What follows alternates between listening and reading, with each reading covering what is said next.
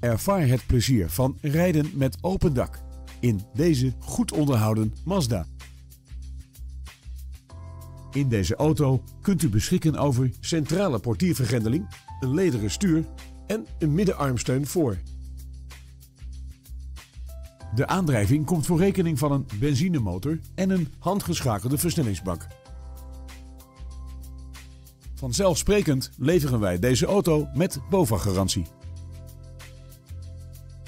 Als u deze zomer nog met open dak wilt rijden, maak dan nu een afspraak voor een proefrit met deze cabrio.